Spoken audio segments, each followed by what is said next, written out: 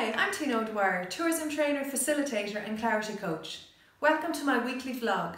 Today I'm speaking about high performance tourism networks and in particular how they can generate meaningful local data for destinations. Every week I meet people and networks in destinations who believe they're successful because of the number of visitors coming to their destination. This is a false metric.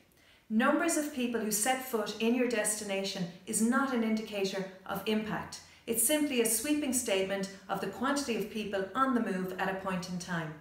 The impact that these people and networks say they want to achieve relates to the average spend, the average length of stay, and the spread of visitors around the destination. So we've a mismatch between what we're measuring and what we actually want to achieve. I believe that cultivating high performance tourism networks in a destination can lead to meaningful data that can support decision making and planning. How's that? A strong network will be representative of the destination.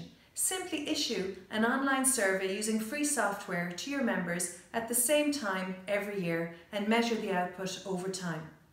And ask questions about the things where you actually want to achieve impact. So for example, you want to increase the average length of stay. Ask the accommodation providers, what is your average length of stay? Use year one as a baseline and then track that over time each year when you take the survey.